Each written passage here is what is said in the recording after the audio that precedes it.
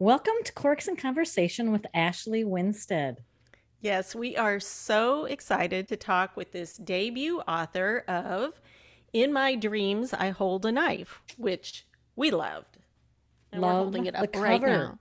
I'm obsessed yes. with this cover. Yes, it's very cool. I know. Um, and it seems that we were not the only ones completely obsessed with this debut thriller. Um, the list of great reviews and praise is long, topped by the New York Times Book Review and an Amazon Best Book of the Month is all. Oh, that's it. That's, that's it. oh, yeah. So this book is great. And so let me tell you a little bit more about Ashley. So, yes, please. Ashley Winstead holds a PhD in contemporary American literature from Southern Methodist University and a BA in English and art, art history from Vanderbilt University. Um, she lives in Houston, Texas, nice southern place um, where she drinks red wine and um, dreams up novels. Her debut novel, In My Dreams, I Hold a Knife, which we just spoke about, came out last summer, as Cathi said, to rave reviews. Um, for example, the New York Journal of Books review said of the novel, a dark, oh no, a twisty dark puzzle. Fans of books such as The Girl on the Train and Gone Girl will find this book captivating, as well as anyone who enjoys being led down a winding, frightening path. Highly recommended. So, Ashley, it's so good to see you today. Oh, it's such a pleasure. And thank you for that incredible introduction. It's the most confident I've felt in a very long time.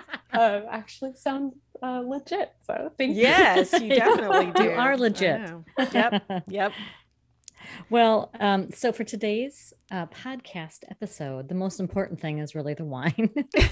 Not because really, but we finally you know. met our author soulmate who likes to drink red wine while she's plotting up her books. Christie, this is so perfect. I know. Um, so we're drinking the La Crema. Well, some of us, some of us aren't today. Sad, wah wah. Um, are drinking the La Crema Pinot Noir, which seems a perfect match for a cool November evening, which I think only one of the three of us is having. I'm just saying. Um, talking about this dark, twisty novel. So the La Crema um, Pinot Noir is from Sonoma, California, and it has aromas. You guys take a drink while I read here. Okay, sure. Thank you. yeah, this is like a drinking game. It has aromas of ripe cherry, cocoa, anise, and rich baking spices, plush flavors of cherry, plum, and pomegranate meld with hints of delicate tea leaf. Structured, balanced acidity and elegant, firm tannins round out the mouth. Well, that's a lot, That but a it lot is very say. tasty. It is very tasty, and uh, I don't know that I get all of that because my palate isn't sophisticated enough. No, but I, I never I love am. it. I'm like, if Yeah. you say that's in there, then I believe you. yeah, right. I right. believe you. yep. I know, does they can like- really write anything at this point. You know? Yeah. Point, right. I- and some of them, I love the the wine descriptions that are just so creative, like old leather shoe straps. And, like, you're like, oh, okay, yeah, I guess I Great, get that. yeah. Uh, you know, Yeah, a few glasses in, and you're, you'll believe anything. You're like, You're I can see that "Okay, I leather." can- Yeah. That's oh awesome. man, that's fun. All right, okay, so I'm enjoying. so it. this is pretty great. So, like the review said, this is a twisty, turny psychological thriller, and um, I'm gonna show the cover again because I'm I'm really obsessed. I just think the title's great, the cover's great, and the book lives up to it. I'm just saying, but. So this um, involves a, a class reunion, a college 10-year class reunion, and um, the main character Jessica tells the story through her points of view both now and when she was um, in college. So she's so the chapters are now and then. And i really am curious about your point of view choice. Um, and i should tell everybody that the scene is a 10-year college reunion like i mentioned we're brought back to the murder of um, one of this really tight-knit group of, of students. There's six friends. Um, and so anyway that's the backdrop so talk to us about your choice of point of view for jessica being the eyes that we hear this or see this through Yeah, I love that question. Um, and a lot of times that question is actually framed um, as why did you choose such an unlikable uh, character through which to frame your book?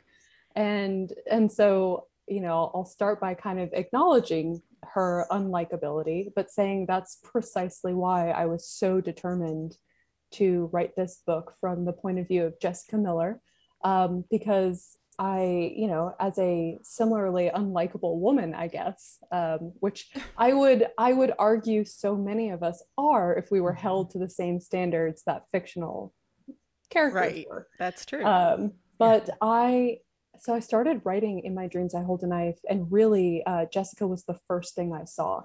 Mm. So I I call in my dreams my failure book, um, which is maybe ironic or strange because it's my debut novel. It's like the first novel that actually broke out for me and got got published. Um, but I started dreaming up the book after experiencing like a gauntlet of professional failure in my writing career. I'd been trying to write for over a decade um, had gone through spells where I, I gave up completely, um, you know, spells where I tried desperately, desperately, shelved manuscripts. Um, and I had gotten so close, I thought, in the in the winter of 2019. I I thought I had, I got into a program called Pitch Wars, which I, I won't, you know, so I could spend a lot of time talking about it, but I won't. Um, just know that it's a, a mentoring program, a pretty famous mentoring program yeah. for unagented writers.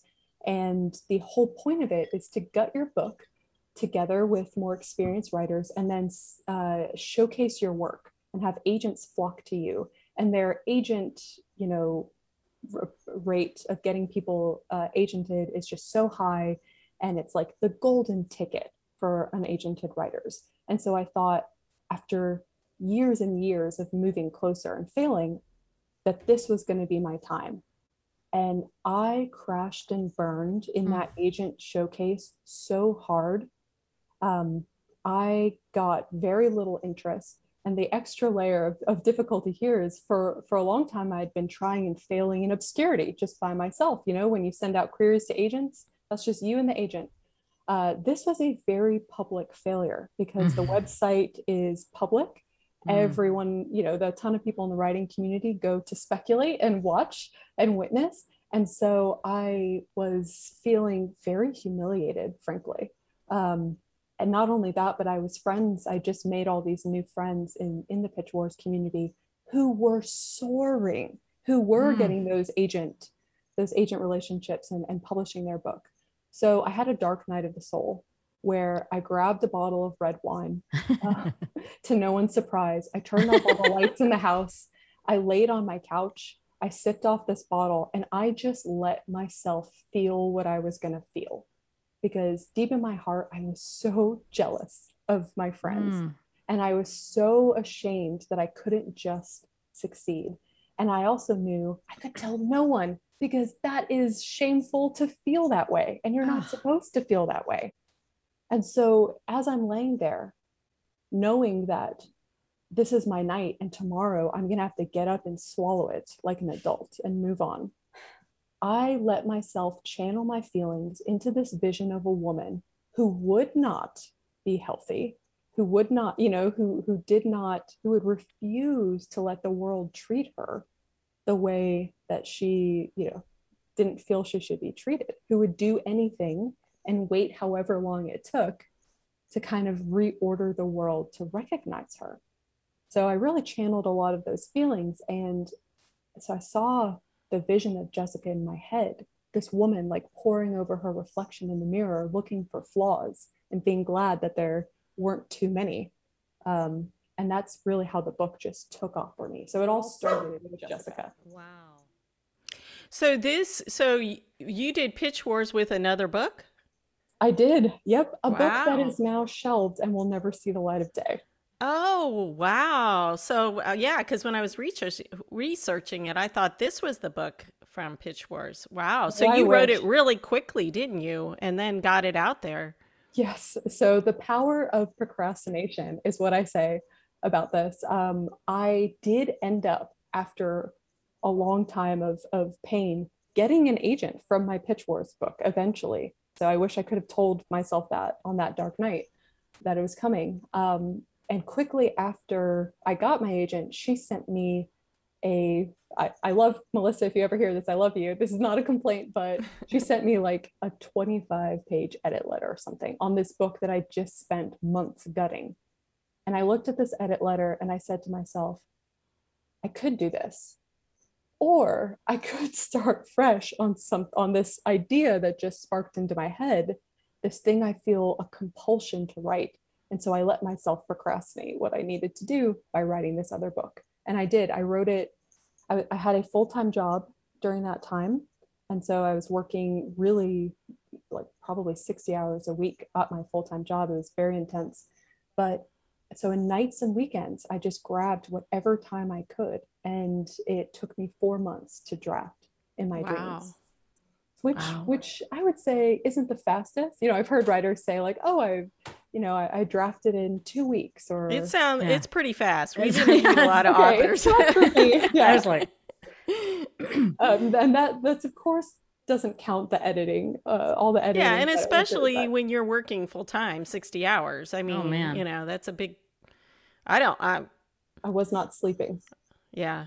I don't but you were how. driven by this story. This that's right. what's so cool about this is that you had this she came to you and you had to get her out on the page when cool. I think back to the process of writing, I like it's almost a body memory of feeling of being hunched over my laptop, almost breathless. Like I could not get the words wow. on the page fast enough.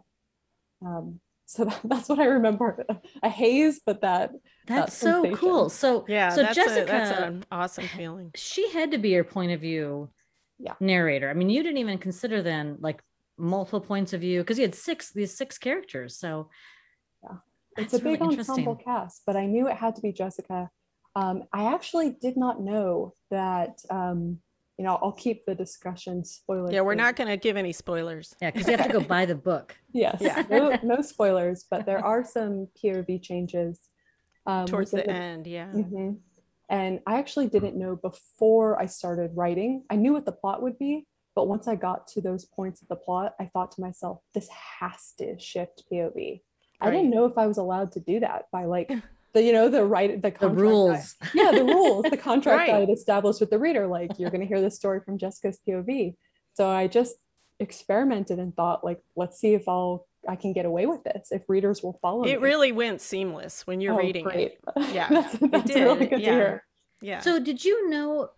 So as because as you're reading this, uh, to me as a, as a writer reading this, I thought she had to be plotting this so intricately to go back and forth. Yeah. So are you going to break my heart and tell me that you just pantsed this? I am not going to break your heart. I'm confirm confirming your writer's instincts in that I wrote a 42 page outline where I for this book before I ever got to that like you know that that daisy phase of of drafting yeah. where I just meticulously plotted every inch, every scene into the dialogue. I color coded wow. all of the different plot lines with the different characters so that I could put them up on my wall and visually see the, the plot lines interweaving um, and see like, oh, there's there's not enough here of this happening here. You know, we need to we need to fix that. So um, yeah, I, am wow. a fan of intricate mysteries, so I really wanted to try my hardest to to write one. You so, sound like Cathi to me. Well, I, I like I mean, the planning. She's she likes all that planning. You know, I do. Like, I like the planning. That turns me planners. on. yeah. yeah, me too. I'm like, I to be honest, I can't even start writing until I have the entire book plotted from A to Z. That's how much of a planner I am. But well, don't you works. think that that allowed you then to do that just feverish writing because you yes. could just in, immerse yourself because you knew right. where you were headed? That's what I always say when uh, my my lovely pantser friends are like, "Oh, that sounds miserable. Don't you then yeah. get bored because you've already told yourself the story?" Um, and I'm like, "No, it's the exact opposite. That doing that meticulous planning gives me the freedom to be creative and explore because I feel like I've got this foundation under my feet." Mm-hmm. And okay, I can I can revise things if mm-hmm. you know mm-hmm. the creativity takes over, but yeah, it's what frees me up. Yeah, I can see that too. Yeah. Even though I'm a that. pantser, I'm sorry. But, but like, you know, She when has to I get admit it. towards I the end, when you have to really pull everything together, that's when I kind of really plan more. And then it is, it goes really fast then because I'm like, oh, I don't have to guess, like, oh, what do I want them to do today? You know, I can just be like, okay, they're doing this, you know? So, I find That's great. magical. I would Great. love to be able to have that talent, but Oh, right? yeah. Well, you also your all your characters are very very complex and I'm wondering too, do you do the same level of you know, backstory, everything before you even get started on writing on them? Yeah, um, I am devoted to Lisa Cron's Story Genius, and I use Cathi's yeah. like, it's right here. No, I did. I grabbed it because I Um, read that you liked it and I grabbed it. This is the It's so good. Um, and it is, I, I fully agree with Lisa's thesis in this book that, you know, plot is great and everything, but what readers are really coming to stories for is to immerse themselves in someone else's mind. And they want to see, uh, they want to be glued to someone's brain and see them make choices and see them confront things and see this development arc and just feel like they really understand this person's brain. And so I reading, I've, I've used the Story Genius for every book I've written so far. And I started, um, I did the Story Genius method, which with each of the characters and in my dreams. So that also took me um, quite a little while. But what I did is I I call it now character mapping, which is probably something I stole from somewhere. Um, but you know, I I don't works. know. Yeah, it works so I started with uh, Jessica and Heather, um, and they were my two touchstones uh, in the book, my two characters. And so I did deep dives in figuring out who these two women were, not their birthdays and their favorite colors, but you know their deepest, darkest desires and their misbeliefs. You know, like what they misunderstood about the world that just constantly um, shot them in the foot. problems. Yeah. Exactly. And so I figured this out for them. And then I built all of the other characters in the friend group, all the rest of the East House Seven, in relationship to them.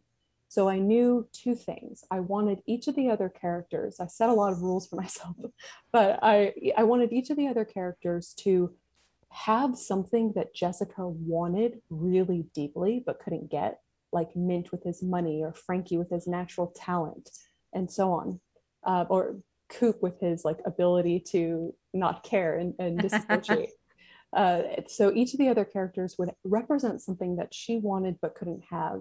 And then each of the characters in turn, Heather would represent or, or threaten something that they wanted very deeply. And that was necessary, I felt, to make each of them credible suspects in her murder. Um, and Well, that's yeah, it that- worked. Again, it worked. Oh. So I That's it took me a interesting. I'm gonna have to get that book, I guess. We're gonna have to put a link on our yes website. yeah, recommend. sounds great. I yeah, I I think you would like it, Christie, because it's very um brain based, science based, you know. And I think that would because Christie's a science background person, and I think that would I think it will appeal to you. Well, I'm gonna Uh, get it. yes, absolutely. Okay, so we're about midway, um, Ashley, and so this is when we like to ask the authors. We get to talk to a question in the bottle, and so it's a question that might come up when you get to the end of a bottle. Um, just kind of a fun random question. Christie, as you can see, is shaking an actual bottle of questions.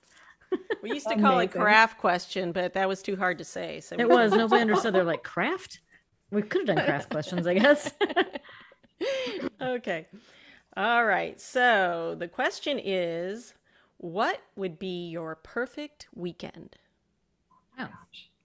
Okay, this is easy. Um, I would go back to Tuscany, and this is like unlimited, right? Unlimited Yes. money. There's no uh, budget. okay, um, great. Then I would go back to Tuscany, which is my favorite place on earth. It's where I got engaged, um, Oh. luckily. And I would spend a weekend drinking wine and eating pasta and just enjoying the weekend, probably with my husband and uh, definitely with my husband and my family. He can come. Yeah, he can come. But mostly the important part is me and the wine and the pasta. in that I have order. the perfect place for you. We can talk later. There's a villa on the um, Mediterranean in Tuscany there that gorgeous. Yes, please. Yes, yes. And I I went there. It, they kind of you know rent out rooms and place you know. So we went there with a group. I'm It's the eyeing to go. 2022 very hopefully for Yeah. Really? Well, I'm I'm an optimist, so I'll, I I'm think sure I'll get 2022 is disappointed. going to happen. I think it is. It think can. a- yes. by the end, maybe. Maybe. Yeah. Let's hope. Yeah. Fingers crossed. Hope Well, fingers crossed. Yep. Okay, so um, we did already talk about pitch wars because I was that's what I was going to ask you about, and um, so even though this process didn't work for you, do you still believe that that's a good process, or um, you know, do you suggest that I don't know people hire an editor instead or something? I don't know. Yeah, that's I love that question. And so the fun part is is this year for the first time I'm actually a Pitch Wars mentor. So I've come full circle and now I'm on the other side. Um, so life is great that way. So I really do believe in it. Um, and like like I mentioned, eventually it was Pitch Wars that eventually eventually helped me land my agent, um, even though it wasn't quite as quickly. And so I am approaching my mentorship now this year. We just announced mentees, so it's very fun, very exciting. so you already have your mentee. I do. I have my mentee. Um, her name is V.A. Vasquez, and she has written a manuscript uh, titled As of Now Dating in Murderville. And it's this like phenomenal, it's basically like you meets home before dark meets like OnlyFans, which I know sounds Wow.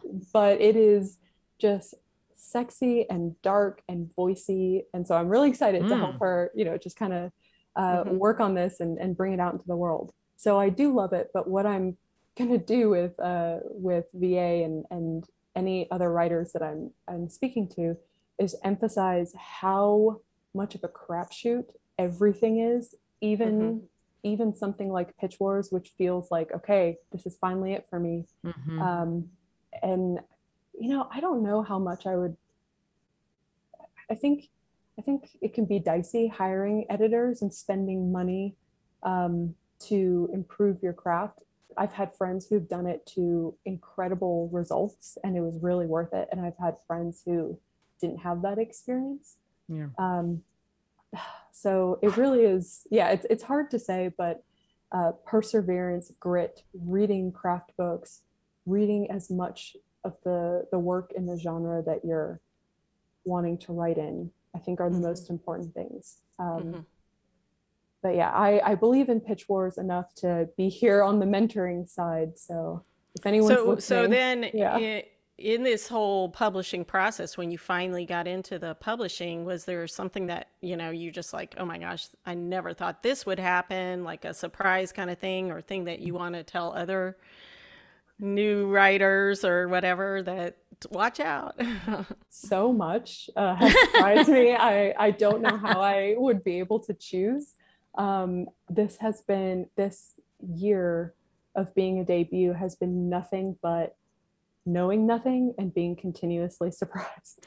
And just, really and just trying my hardest to keep a cool, calm head. And, you know, if I'm worried about something, reassure, reassure myself that I'm not the only person who's been worried about this in the history. You know, I'm not unique. This Mhm. is this is just the way it goes. Um, but I will say things that surprised me are um, I did not know how little control you have over your cover or your title even. Um, and so Oh, really? I love, yes, I love In My Dreams I Hold a Knife and I love uh, both the title and the cover. But getting there was a process, uh, a long, arduous process. and Really? it, it's really hard as, at least it was for me, but you can probably just hear already that, you know, I sometimes struggle with self-esteem issues and have plenty of imposter syndrome um, probably couldn't have written the book that I wrote without it. But, um, you know, I just felt always at a power disadvantage with my publisher and my editor, who Hmm. are the loveliest people in the world.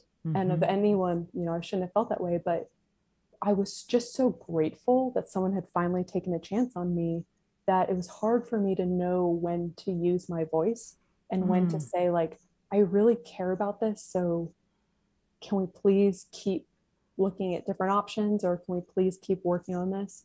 And some of the most terrified days I've had over the last year is like sending off emails that were p- very politely pushing back and then, you know, ducking and covering. Right, like and what did I just do? Please don't drop me. they're gonna drop me they're gonna cancel the contract i'm gonna or they're gonna just like label me a difficult writer and no one's gonna want to work with me so I could see that. I would be the same Yeah. way, Yeah. probably.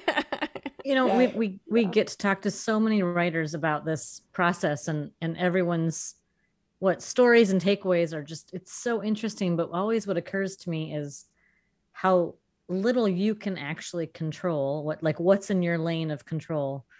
And that that's um for those of us that are control freaks. Drive me saying. crazy. Yeah. Yes, very interesting. Yeah. okay, so I am fascinated to know about your other two novels that are in the works. They are different genres, which I love. yes one of them is a thriller my second thriller but the other one is my romance debut It's so exciting. thank you. So a, lot of people are like say what now? You're doing what? Um, but yeah next next year i actually have two books coming out. Um, april 5th i have uh, fool me once which is my romance slash women's fiction debut. And it centers around a woman named lee stone who is professionally a total badass she's the comms director for an all women's run electric vehicle company in texas in Oh, austin cool. yeah, she's a total badass um, in her professional life, but in her personal life, she's a total mess. Uh, she's a party girl. Her nickname is Stoner. Uh, very well deserved. Um, she's not the kind of woman who is typically the center of, you know, um, a, a romance, and she knows it. She this is self-described, and she's cool with that. Uh, she doesn't really believe in love, and so uh, she has gone around throughout her life and made enemies of pretty much all of her ex-boyfriends. Oh, she just things explode for her uh, a lot, and so the book opens with her finally getting the chance to seize her professional Everest, she calls it, which is passing a green energy bill in the state of Texas, of all places. mm. oh, right. They- yeah. Yeah, this is a cathartic politics book Yeah. where we're pretending that that's possible. Um, it felt great to write that uh, version of Texas. But so she she has this chance with the governor, but the man that she has to work on passing this bill with is none other than the man, the one man she loved from her past, oh who my gosh. she most explosively ended things with and essentially ruined his life and drove him out of the state of Texas. He's Oh, back. wow. That's pretty No. bad. she's she's a bit of a mess, but a lovable one. So that's my Oh, that'll, yeah. that'll be fun trying to get them back together. Yeah, so- I'm curious about where writing that fit in with writing these thrillers. Like, were you, was that always in your mind? Had you already been working on that? yeah. I the theme is messy women. Apparently, um, I'm learning. it's just across you know me- messy women or women with um, some a lot of complex thoughts and feelings going Hmm. going on. Um, you don't always make the best choices. So I am a voracious reader of thrillers, romances, fantasy. Actually, the, my Pitch Wars book was a fantasy. If you Oh. the one that got shelved, I know I'm all over the map. Um, I just love trying on different styles and different voices. It feels so fun. Um, Mhm. And so while I was working on In My Dreams edits, I started writing. Uh, it was originally called Stoner. Now it's Fool Me Once, um, for obvious reasons, But, like marketability. Yeah, I was gonna say Um, that, that romance um, market didn't want stoner. So I just started writing it, and and it was such a joy. And I wrote it during the early days of the pandemic, and it brought me so much. My husband called it my my cackle book because he would walk into rooms and find me laughing out loud at Oh, things that I'd that's written to myself. He was like, "You are you are too much." Um, That's great. Yeah. So, So, that, that's Are that. you you're not still working 60 hours a week plus writing these multiple books? Thank goodness, no. I, I have been um, a full time writer for I think three months now. Wow. So I'm so excited and I'm so grateful because I don't know. Right now, I'm currently uh, drafting two books uh, concurrently, and I don't know how I would have done this on top of the the day job. So Now, do you ha- do you have contracts for two different books? Is that why you're drafting two at the same time, or? one is contracted and one is my next that fingers crossed will eventually find a home. Oh, Um, okay. Yeah. so do you have I I know that you like to be organized in your writing planning. Are you the same way about your writing day? Uh, I am, I don't know if the word is organized more than like the a creature of routine. I Hmm. do the exact same thing, sit in the exact same place, have the exact same cup of coffee, go through the exact same motions every single day. Um, and that is what I guess gives me a sense of peace, or I guess you would call that orderliness in, Yes. its, in its own way. well, you know, there's something to be said for that because then you don't have to waste your brain thinking of what I'm gonna, where am I gonna sit, what am I gonna have. You know, you can spend that on your creative writing and everything Mhm. else. You know, it's like this where people wear the same clothes every day, like they just, you know, have three different shirts of the same shirt in different colors and they just mix and match. I mean, I've always I wanted to kind of do that too. Are you uh, Christie very much recently visited me. me. I thought you were making fun of my husband because he does that. He Oh, wears no, the no, exact no, same no. thing every single day love to work because he he it truly was a decision making ease for him. He's like, I just don't want to think about that piece of my life. It's like so we're he- animals, man. Remember when our kids could wear, you know, Yes. uniforms to school and stuff? It's like don't have he to has like eleven of the same shirts and eleven of the same pants. See, that is my jam. I do the exact same thing. I have like a bunch of black shirts and dresses, and that's that's like I rotate them. I'm gonna I'm gonna this is inspiring me. I'm gonna try that again. Yeah. Well, I think you know it's it, I think it's easy because you know writers tend to work from home or from a, a different location where people who are in a more traditional work environment they go and do pretty much the same thing every day and there's something to be said about that routine. Hmm i, I, think love a but routine, and my, every single writing day, it, it's very comforting because it's bookended by coffee and wine. So I'll start it, I'll kick it off with coffee, and then it gets to six thirty, and it's time to crack open the bottle of wine, which is my little reward. And then if I have any spicy scenes that I have been saving to write, Hmm. I usually write them during wine time. Oh, Ooh, there That's you go. maybe That's revealing a little interesting bit too much. writing tip all right Great, this has that's been so fun before we go Yeah. Christie has a final question for you. Okay, so we ask this of all our writers. Um, Mm-hmm. Which of your characters would you like to share a meal with, and what would it be? Ooh, I love that question. So many of my characters would come for me. Um, so I have to be very, uh, very. I know, right? It's like, Um, okay, well, can I be behind bars while I eat? characters are rather dangerous um, Yeah. and, and conniving.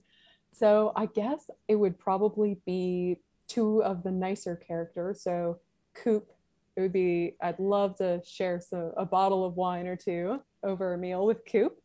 Um, and then probably Caro because she's a good one.